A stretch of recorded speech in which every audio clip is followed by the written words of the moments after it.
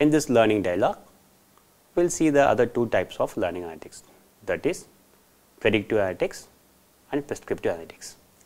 Given that you have performed diagnostic analytics such as why a student did not pass the exam or why the student was not able to answer a particular question. You found out that student did not pass the exam because he has not attended enough classes. Given that you, you have some diagnostic analytics like that, can you think of how will you predict the student's performance in the future events? This diagnostic analytics you have performed based on the past data. Can you think of how do you perform in a future semester, which student will pass the exam, which student will not able to answer a particular question. You can pass this video, write down your activity, write down your answers. After you complete this activity, you can resume this video. Predictive analytics actually predicting what will happen next.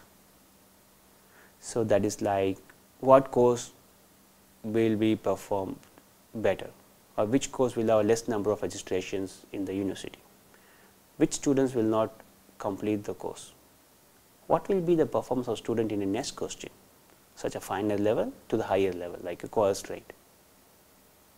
How do you do that? The prediction is done based on the data from the past events. We collect the past events like how many students are registered to the particular course in the last 3 years, can you predict it what will happen in next class? Yes, if the students are registering to the course um, say networking for last 3 years only 60 percent students are registering, then we can expect in next year also only 60 percent registers unless there is something event happens which makes the change. So, we can predict what will happen in a next semester based on the last past data. This is very common in a data analytics. We will talk about predictive analytics in a week 4 of this lecture. So, the most popular predictive analytics are naive Bayes or a very good classifier called SVM or decision trees. It is very common in uh, educational data mining also in the learning analytics community. There are a lot of tools available for teachers and other stakeholders. The tools like uh, Weka, it is open source for everyone and there are good tools uh, which is developed for the industries such as RapidMiner, Orange. These software tools are available for the academic purpose free of cost. However, we have to understand one thing, the latest buzz about deep learning or artificial intelligence or deep neural network or convolutional neural network, it is good to use those networks for the educational data. But we have to remember that in order to train those deep networks or CNN networks, we need a lot of data. Usually in educational settings, our data is fine grained, but not lot of data on a similar event. So, we will stick to use naive Bayes, SVM or decision tree. In our fourth lecture, we will use one of these methods to predict a student's outcome in a learning environment. The next activity is that for the prescriptive analytics. Now that you are able to predict whether learner will continue the course or drop it, right, because you are able to do predictive analytics. Consider there are some learners who is going to drop your course. What measures will you take to ensure your learners are motivated enough to continue your course and how? Think about it. What measures will you take to ensure the learners to motivated enough to continue your course and not going to drop out?